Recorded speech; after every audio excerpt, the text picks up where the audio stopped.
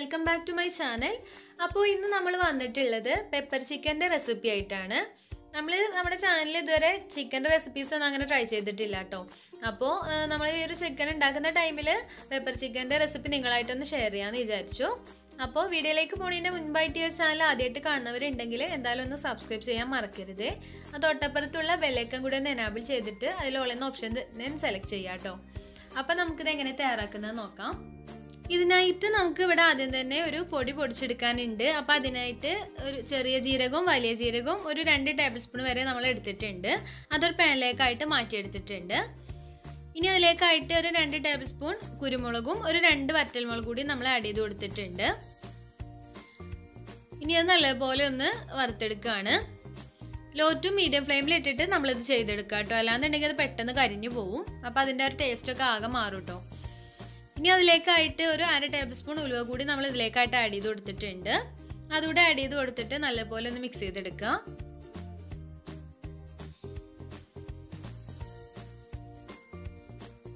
ഇപ്പം ഇതൊക്കെ നല്ലപോലെ ആയി വന്നിട്ടുണ്ട്. ഇനി നമുക്ക് ഇതൊന്ന് തണുക്കാനായിട്ടൊന്ന് മാറ്റി വെക്കാം. അപ്പോൾ ഇനി അടുത്തതായിട്ട് നമ്മൾ ചെയ്യുന്നത് ഒരു പാനിലേക്കായിട്ട് ഒരു രണ്ടോ മൂന്നോ ടേബിൾ സ്പൂൺ വെളിച്ചെണ്ണ ഒഴിച്ചു വെച്ചിട്ടുണ്ട്. അതിലേക്കായിട്ട് ഒരു ടേബിൾ സ്പൂൺ ഇഞ്ചി വെളുത്തുള്ളി പേസ്റ്റാണ് നമ്മൾ ആഡ് ചെയ്ത് കൊടുത്തിട്ടുള്ളത്. പിന്നെ ഒരു രണ്ട് പച്ചമുളക് കൂടി നമ്മൾ അതിലേക്കായിട്ട് ആഡ് ചെയ്യുന്നുണ്ട്. ഒക്കെ ഒരു ഓയിലിക്ക് തന്നെ നമ്മൾ ഇട്ട് കൊടുക്കുക കേട്ടോ. പിന്നെ അതിലേക്കായിട്ട് കുറച്ച് കറിവേപ്പില കൂടി ആഡ് ചെയ്ത് കൊടുക്കുന്നുണ്ട്. ഇനി അതൊന്ന് ആ ഒരു ഓയിലിൽ വഴറ്റിയെടുക്കുകയാണ്.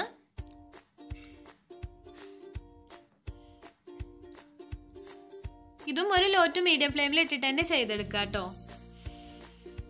അപ്പോൾ അത് ചെറുതായിട്ടൊന്ന് വന്ന് വന്നു കഴിഞ്ഞാൽ നമ്മൾ അതിലേക്കായിട്ട് ഒരു രണ്ട് സവാള അതുപോലെ ചെറുതായി കട്ട് ചെയ്തതാണ് നമ്മൾ അടി കൊടുത്തിട്ടുള്ളത്.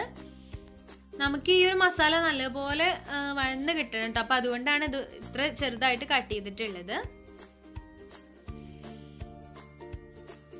അപ്പോൾ ഇനി അതിലേക്ക് ആവശ്യത്തിനുള്ള ഉപ്പ് കൂടി നമ്മൾ ആഡ് കൊടുത്തിട്ടുണ്ട്.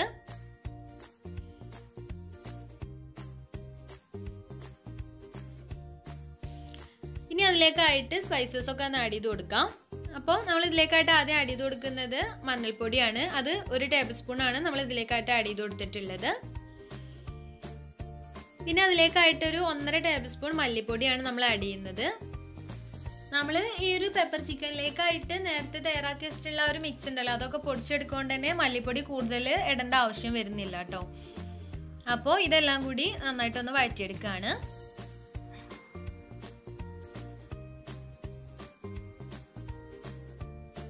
ഇനി ഇതിലേക്കായിട്ട് ചിക്കൻ പീസസ് ഒക്കെ ഒന്ന് ചെയ്ത് കൊടുക്കുന്നുണ്ട്. നമ്മൾ ഈ ഒരു പെപ്പർ ചിക്കൻ ചെയ്യുന്ന ടൈമിൽ ഈ ഒരു ഉള്ളിയൊക്കെ നല്ലപോലെ വഴറ്റിയെടുക്കുക കേട്ടോ. എങ്കിലേ അതിന്റെ നല്ലൊരു ടേസ്റ്റ് കിട്ടുള്ളൂ. ഈ ഒരു മസാലയൊക്കെ ഇതിൽ നല്ലപോലെ മിക്സ് ആക്കി എടുക്കുന്നുണ്ട്. ഇനി അതിലേക്കായിട്ട് കുറച്ച് ഉപ്പ് കുറവാന്ന് തോന്നിയപ്പോൾ ഉപ്പ് കൂടി ചെയ്ത് കൊടുക്കുന്നുണ്ട്. പിന്നെ നമ്മൾ നേരത്തെ തയ്യാറാക്കി വെച്ചിട്ടുണ്ടായിരുന്ന ഒരു മിക്സ് ഉണ്ടല്ലോ അത് പൊടിച്ചെടുത്തിട്ടുള്ള പൊടിയാണ്. അതൊരു മൂന്ന് ടേബിൾ സ്പൂൺ വരെ നമ്മൾ ഇതിലേക്കായിട്ട് ആഡ് ചെയ്ത് കൊടുക്കുന്നുണ്ട്. അപ്പോൾ അത് നമ്മൾ ചെയ്യുന്ന ടൈമിൽ ഈ ഒരു ചിക്കന്റെ മുകളിലേക്കായിട്ട് തന്നെ ആഡ് ചെയ്ത് കൊടുക്കുക കേട്ടോ. എങ്കിൽ ആ ഒരു ചിക്കനിലൊക്കെ നല്ലപോലെ പിടിച്ച് കിട്ടുള്ളൂ. അപ്പോൾ അതുകൂടെ ചേർത്ത് കൊടുത്തിട്ട് നല്ലപോലെ ഒന്ന് മിക്സ് ചെയ്തെടുക്കുകയാണ്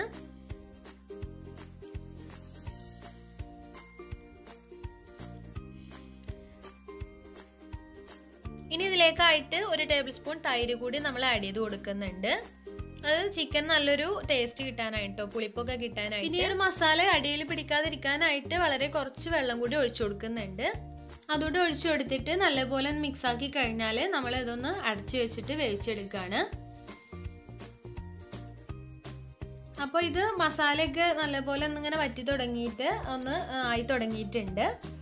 നമ്മൾ ഈ ഒരു പെപ്പർ ചിക്കൻ എന്ന് പറയുന്ന ടൈമിൽ അരവൊക്കെ നല്ലപോലെ വറ്റിയെടുത്തിട്ട് നല്ല ഡ്രൈ ആയിട്ടാണ് പിന്നെ അതിന്റെ മുകളിലേക്കായിട്ട് കുറച്ച് ചില്ലി ഫ്ലേക്സ് നമ്മൾ ആഡ് ചെയ്ത് കൊടുക്കുന്നുണ്ട്. പിന്നെ കുറച്ച് കറിവേപ്പില കൂടി ആഡ് ചെയ്ത് കൊടുക്കുന്നുണ്ട്. അപ്പോൾ ഇത്രയേ ഉള്ളൂ ഈ ഒരു പെപ്പർ ചിക്കൻ റെഡിയാക്കാനായിട്ട്. അപ്പോൾ എല്ലാവരും ഇതൊന്ന് ട്രൈ ചെയ്ത് നോക്കണം. നമ്മൾ നോർമലി വെക്കുന്ന രീതിയിൽ ഒന്ന് മാറ്റിയിട്ട് ഇങ്ങനെയൊക്കെ ഒന്ന് വെച്ച് നോക്കാം കേട്ടോ അപ്പോൾ എല്ലാവർക്കും ഇത് നല്ല ഇഷ്ടമാവും ഇതിന്റെ മസാലയൊക്കെ നല്ല ടേസ്റ്റാണ് കേട്ടോ അപ്പോൾ എല്ലാവരും ഇതൊന്ന് ട്രൈ ചെയ്ത് നോക്കിയിട്ട് നിങ്ങളുടെ ഫീഡ്ബാക്സ് ഒക്കെ ഒന്ന് അറിയിക്കാം. വീഡിയോ ഇഷ്ടമായാൽ ലൈക്ക് ചെയ്യാനും ഷെയർ ചെയ്യാനും മറക്കരുത്.